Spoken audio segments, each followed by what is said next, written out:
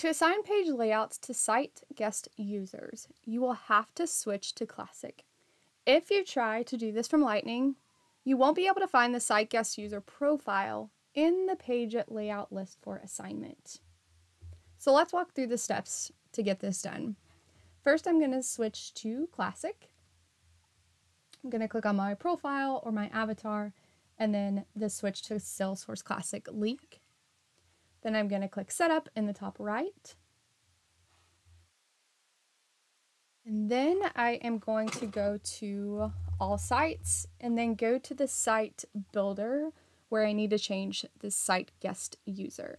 So for my email loop, I'm going to click Builder. And then on the gear for settings, the icon, I'm going to click my guest user profile link. And then in this top section, I'm going to click view assignment for any of the objects where I want to assign a different page layout. For this example and time's sake, I'm only going to do it on the account, but I'm going to click view assignment. And then click edit assignment. The guest user profile will already be highlighted or selected.